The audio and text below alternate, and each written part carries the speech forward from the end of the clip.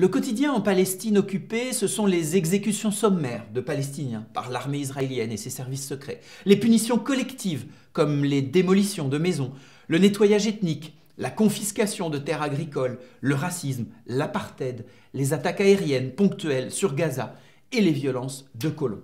Depuis deux semaines, des Palestiniens ont malheureusement choisi de répondre à ces agressions permanentes par une contre-violence suicidaire, en menant des attaques au couteau contre des Israéliens.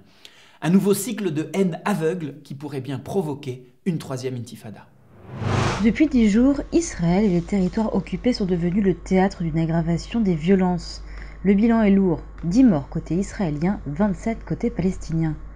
Mardi 13 octobre dernier, une journée de la colère a été décrétée par les militants palestiniens. Si l'on met de côté les attaques au couteau menées par les Palestiniens et les faits rapportés par Israël dimanche, les tensions depuis début octobre se résument à des affrontements entre jeunes lanceurs de pierres palestiniens et l'armée israélienne. Dans une vidéo sortie publiquement la semaine passée, un groupe de Palestiniens jette des pierres aux forces de l'ordre israéliennes, quand soudain plusieurs d'entre eux sortent une arme et ouvrent le feu. Très vite, ils sont rejoints par des soldats en uniforme. Ces hommes déguisés avec des chèches appartiennent en fait aux forces de l'ordre. Pendant plusieurs minutes, ils tabassent un manifestant. Au total, trois Palestiniens sont blessés, dont un grièvement.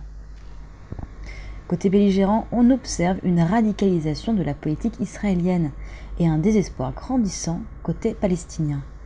Une génération nouvelle se soulève. Celle-ci n'a pas connu les espoirs de paix et ne connaît que la réalité du désespoir.